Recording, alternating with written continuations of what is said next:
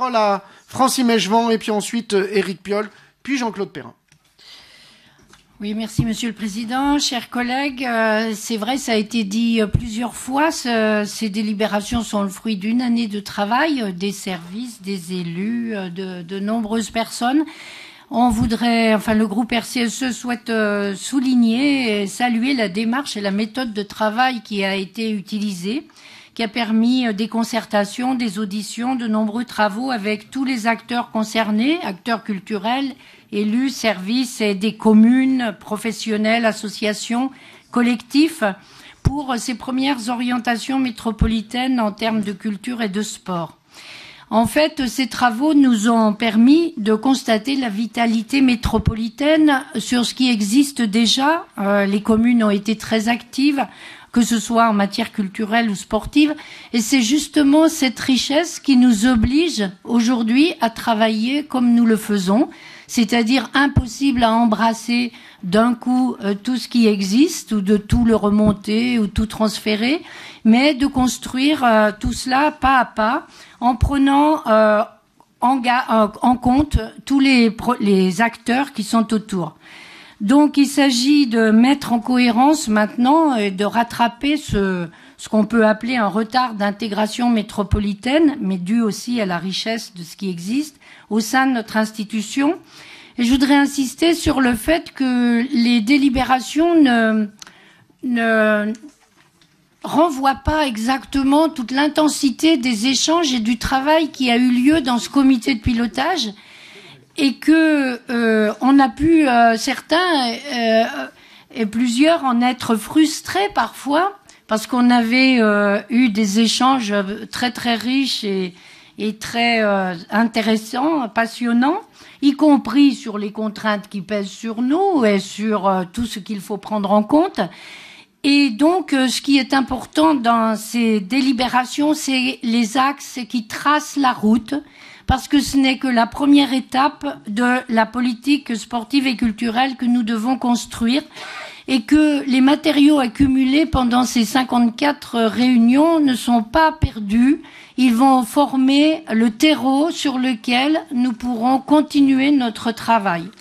Car il s'agit de mettre en commun, de fabriquer du commun qui est euh, pour notre identité euh, métropolitaine, que ce soit pour nos concitoyens, mais aussi pour nous, les élus métropolitains, qui nous sommes frottés, euh, disons, à toutes ces questions pendant ces heures de travail. Il s'agit de donner une âme aussi à notre institution et euh, j'insisterai tout particulièrement sur la dimension culturelle qui, par les temps qui courent, euh, dans une période où fractures et inégalités se développent, peut être un véritable levier, y compris le sport aussi, mais un véritable levier pour contrer certaines dérives et refaire et faire métropole vraiment. C'est donc un premier acte qui est constitutif de nos politiques en la matière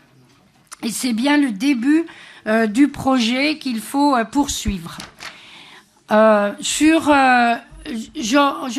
nous retiendrons surtout l'accès l'accès à la richesse de cette offre culturelle et sportive du territoire, de relier les acteurs entre eux et favoriser pour tous les métropolitains un accès égal et équitable à tout ce qui existe sur le territoire. Le deuxième point à souligner, c'est l'ambition de vouloir soutenir la création. La création le travail de sensibilisation et de médiation parce que c'est par là qu'on devient qu'on devient aussi humain, c'est en gérant certes nos moyens, mais c'est aussi en ayant des ambitions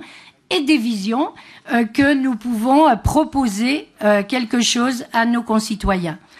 Tout cela en s'appuyant sur les coopérations intercommunales qui existent avec euh, toute la richesse déjà évoquée et les différents partenaires, euh, départements, États, régions, etc., euh, et tout autre acteur agissant dans ces domaines. Et nous voulons retenir la proposition de la charte de coopération culturelle qui peut être vraiment un outil prometteur pour mettre en lien tout ce qui est sur notre territoire et pour aller plus loin et apporter une réelle euh, plus-value à tout cela, sans oublier l'université où il se passe énormément de choses aussi. Donc, euh, les axes de lecture publique, d'enseignement artistique, de soutien à la création et sur le patrimoine, notre patrimoine qui est riche, sont les premières déclinaisons. Et donc, le travail reste euh, encore important à faire pour préciser les critères, les conditions, les moyens euh, possibles à affecter à tout ça. Nous souhaitons aussi dire que nous prendrons garde pour pas que cette démarche soit un étage supplémentaire à ce qui existe, mais soit une réelle mise en synergie de tout cela